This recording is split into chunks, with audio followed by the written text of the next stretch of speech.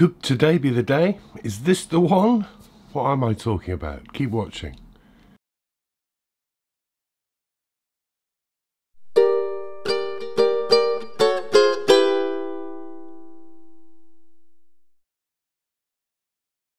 Yes, welcome back. It's got a ukulele review day as ever. The summary video review to the full written review that's linked below each and every video. If you go back to that website, you'll get a lot more information that Got a Ukulele has written over the years. Also down there are some links to do what these people have done. Big, big thank yous to these people because they've donated using those links to help keep this site going because I am not a commercial site who gets paid to do reviews and the only reason I can be here every week buying you things like this one for review is thanks to the kindness of these people. If you want to help out and keep this site going, you can do the same with those links below the video and on the website. And as I always say, you can help me out by subscribing to the channel as well. That would be also very much appreciated. If you ring the bell symbol, you'll get notified of new stuff that comes along. Right, why that introduction? Well, this is a brand that are incredibly well known. Everybody knows this name, mainly because they're in all the big high street, big box music stores. Uh, and I've reviewed them several times before. They've never done it for me. I've always been really, really let down by them. People saw the sneak peek pics I put up of this one and said, well, he's now going to trash this one. That's really unfair. I don't review in that way. I look at everything on the basis of it's a brand new day, and who knows, around the corner, this brand may get something over to me that I go, do you know what? That's not too bad. Let's see if today is that day. The brand is Luna. And this is the Luna Uke Henna Dragon. Uh, it's a concert scale ukulele also available in tenor and that uke henna dragon will become obvious when we get into looking at it. But it is um, something that Luna have kind of made a name for themselves with. Not all of their instruments by any means but this is a highly decorated by way of laser etching ukulele. Now the subjectivity and the objectivity is going to be strong in this review because and I always point these out in my reviews when I'm being subjective my personal view and when I'm being objective which is a physical problem with the instrument which is not just my personal view it's just wrong. Subjectively I don't like laser etching and this has got lots of it. Let's have a look. Laser etching in the form of this uh, like a, a a henna tattoo design with flowers and dragons on it. Um, I don't like it. I think it looks scruffy and cheap. Some people do, that's fine, and that's not the be-all and end-all here, but I'll come on to something a little bit more about that etching in a moment. And what's it etched into? Well, the headlines for the ukulele on the product listing say that this is mahogany, and they don't go to any great lengths to tell you that this is laminate.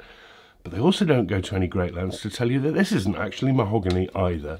If you drill down into their product specs, this is called Eastern mahogany, and that is um, NATO wood from the Mora tree. It's not from the mahogany tree at all. So it's laminate, it's pretty basic, the back's kind of pretty with a bit of shimmer to it, but like I say with a lot of Lunas, um, their woods are actually pretty low grade and the top once you get past that etching is nowhere near as nice as the sort of stripes on the side and, and the back it's not very nice um, no it's not for me it looks quite cheap actually the bridge is made of Pau Ferro. It's a tie bar style. Um, very, very pale. And if you get up close to it, really scruffy in the finishing. It looks like bare wood. It needs sanding. It's just, it's really rough. Sitting in that is a bone straight topped saddle. More about that bridge in a moment, but back onto the decor, because the only decor is the etching. Um, I've said before with Luna that I really don't like the etching that goes under the bridge because that's going to make for a weak bridge joint. Thankfully, there is no etching under the bridge here. Why do I say that? Well, on my uh, in, on a folder on my computer, lots of my readers sent me pictures of Lunas that have failed, where the bridge has split away from the top. And that is a real problem with QC. And I'm talking, I've got dozens of these pictures. And if you've got one, feel free to send it to me and I will add it to my folder. Um, but it's not just those with etching that have split. I think they use quite cheap laminate. I've seen whole tops delaminate and peel off on Lunas. Um, something's not right with the materials. Otherwise, though, this is finished in a satin. It's um, it's very simple. It's very simple wood. I don't like the etching, but I get that that's subjective. Um, I also don't like those. It's got a pickup system in it, side-mounted pickup with a huge control panel in it, which I don't like. Too much to go wrong. Big ugly thing in the side of the box. At least this runs on two cell batteries rather than a 9 volter, uh, which will help with weight. But the batteries don't work on this one out of the box. They're dead which is which is mad. And I also don't like that. That's where they've put the jack socket. There's a tail block here. That's the strongest part of this instrument. I have seen instruments have these rip out where the cable's been pulled or snagged and it rips a hole in the side of the instrument. This is thin wood here. Why put it there? Don't like that. All right okay. That's subjective as well largely although that's objective. The top really really thick laminate. And looking inside yeah it is thick. It's pretty tidy in there to, though to be fair. Um, notch lining simple braces not much wrong with it inside um, bar all that wiring but it is a very very thick top. Um, mm, okay. I don't like that um, but you may.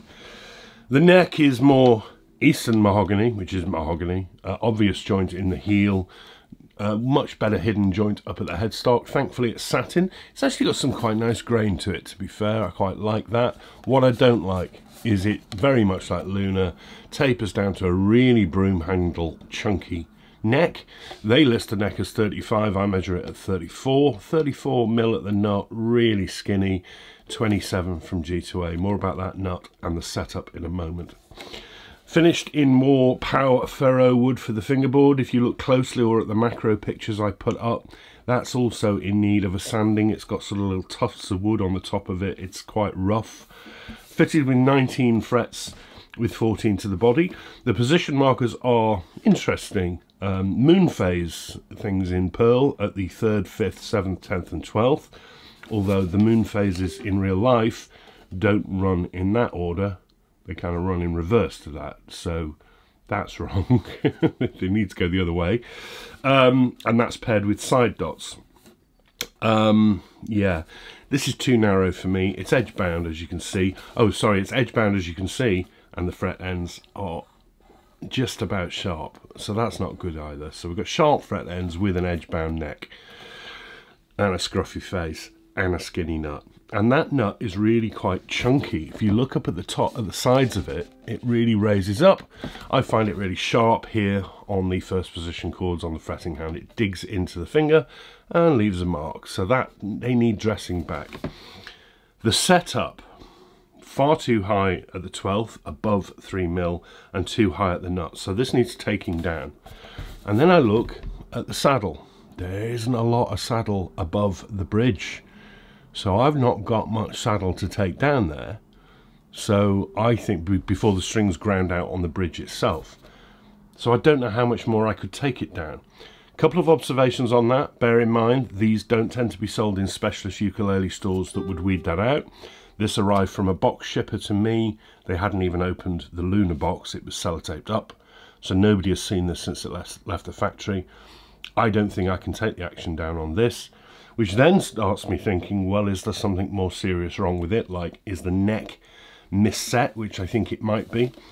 Now, what I started looking at was, and I'm probably not going to be able to show you this, and it might be an optical illusion, but I think the neck is very slightly bent this way. It's bowing up.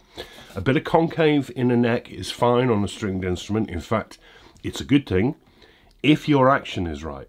And the action is too high here, and what's happening, I think, is this is bowing up, and that's raising the strings and it can't go down any further because the bridge can't go down much further. And bear in mind there's an under, under saddle pickup in there as well. Something's wrong there. We'll see how that affects the play. Right skinny nut. Things are mounting up aren't they Headstock, I am not usually... Um, I'm, the jury's out with slot heads on concerts for me. I like them on tenors and baritones. They can look too big on concerts. It does look too big here, mainly because it's chunky front to back. The Luna logo is laser etched in the face. It's otherwise quite tidy. The tuners are unbranded open gears. They're kind of cheap, but you know what? They work all right. They're not too bad. And the strings are Aquila Super Nylguts, and it comes with the usual functional only dust cover Luna bag.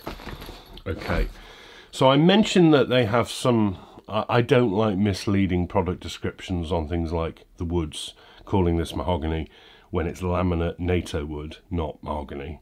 I don't like.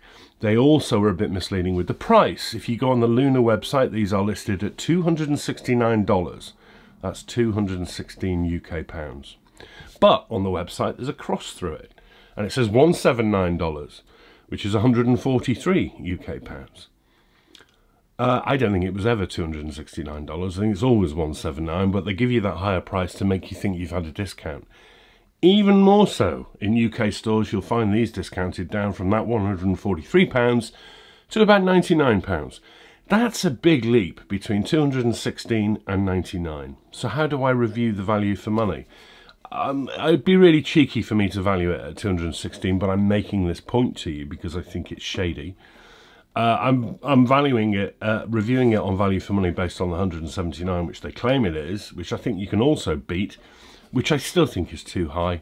I think £99 is too high for this though, because I say there's a lot about Lunas. I think the actual materials are pretty cheap. And uh, the finishing here, some scruffiness on the bridge, scruffiness on the fingerboard, skinny nut. Um, there's actually some scruffiness around some of the laminate on the top as well that I didn't mention, but it's a little bit untidy. Sharp fret ends. Um, and it's NATO wood, it's, it's plywood. It's not any form of decent mahogany. So it's all a bit misleading and um, it looks like today is not going to be the day based on the build and fit and finish. The core build is kind of all right. I don't like pretty much anything else on it. I'm trying to be trying to be objective. Uh, right, sorry, before I play it, because of that pickup in it, it's a little bit heavier, 595 grams, and very slightly neck heavy because of that slot head. I think if the pickup wasn't in it, it would really dip down this way. So it's off balance. I think the neck is misset anyway. Um, so it feels chunky to hold.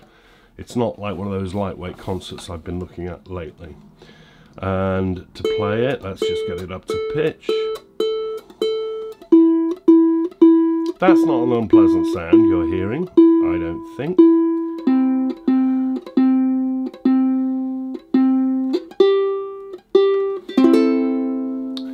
the volume.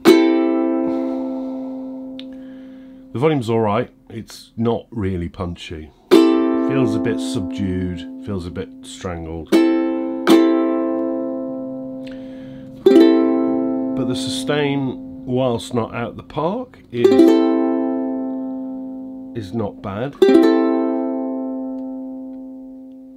There, so I've heard much better, but it's not bad.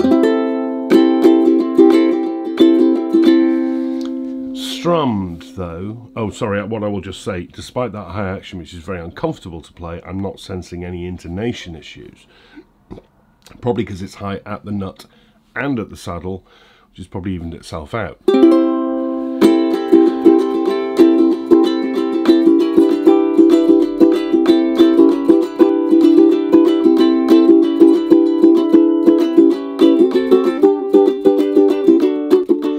Very muffled strummed.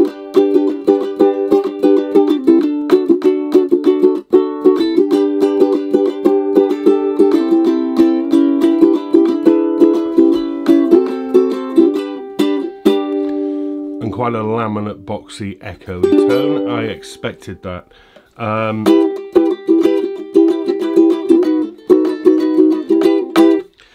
you hear my finger hitting it. That's because I'm really digging in trying to get some volume out of it, but there isn't a lot of volume out of it. So strummed, it's not working for me. It's a bit laid back. Surprisingly, finger picking, it's quite pretty.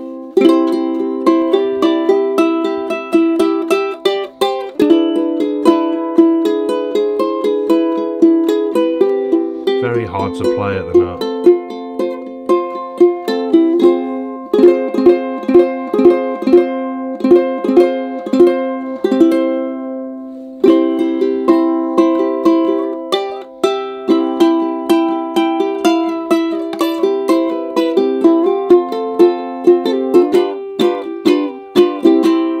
You bring the strumming back in and it disappears.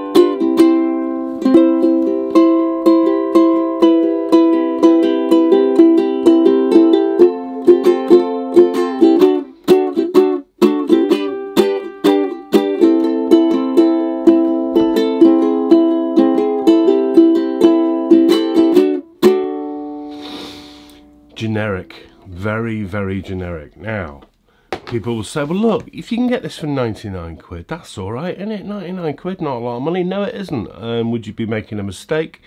Not really, I guess. But you can get instruments from Kai, Snail, Uma, Enya for that money or less that sound much, much better than this. Um, and don't hoodwink you on the product descriptions.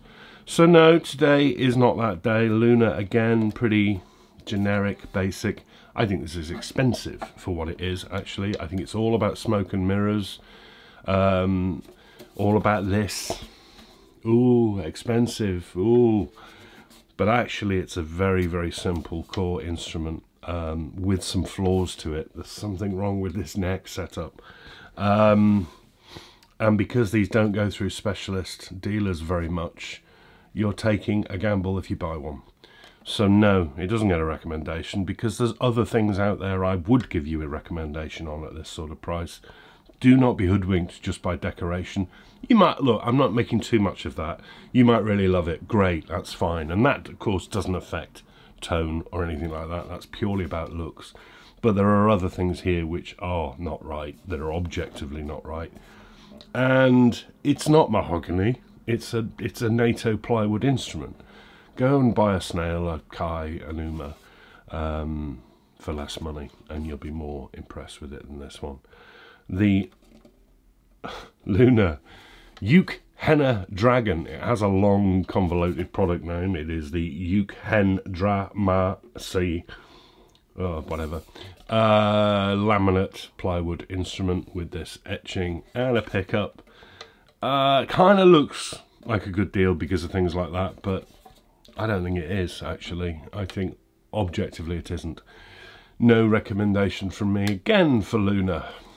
Maybe next time. All right, okay. That's been fun to look at. I think I've probably gone a little bit easier on it than a lot of people thought I would. Uh, I don't want to take a ham hammer to it because it's not a howler. Uh, but thanks for watching all the same and your ongoing support. Have a wonderful week ahead. I'm back next weekend uh, with a brand I haven't looked at for years actually, and they've been in touch. They've got a couple of new models, which is quite interesting, and they've arrived. So I'll be bringing you one of those, I think, or maybe something else. I don't know. My diary's all over the place. Anyway, thank you for watching. See you very soon. Take care. Bye bye.